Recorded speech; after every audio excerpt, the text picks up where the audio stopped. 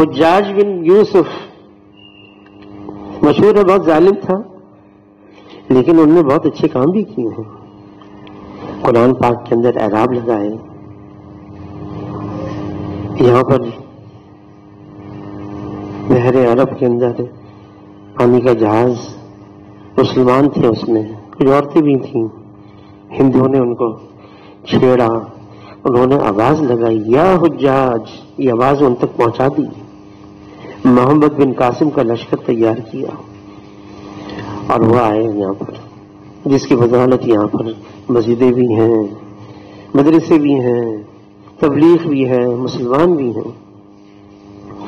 हुजराज बिन यूसुफ हरम आया बैतुल्ला में। देखा एक फकीर बैठा रहता है, उसके पास आ गए कौन हो तुम? तो मैं तो मांगने वाला हूँ।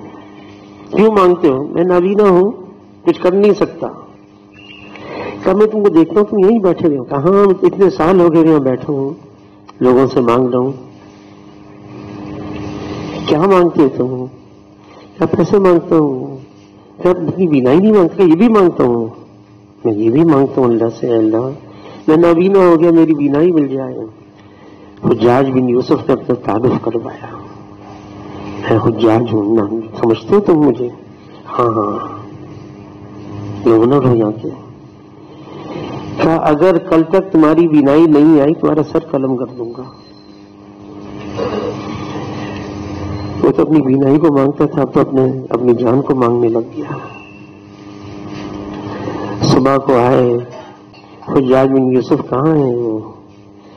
कब हो जा रहा है? क्या हुआ? बीनाई मिल गई। हम अल्लाह से ऐसे मांगने वाले हो जाएँ। हुजूर सल्लल्लाहु अलैहि वसल्लम ने सुन्नत को बेसहारा नहीं छोड़ा।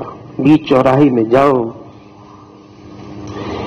इस उम्मत को वो दीन दिया है।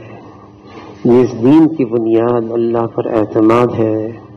अल्लाह पे भरोसा है। अल्लाह पे तवक्कुल है। ये हमारी बुनियाद है।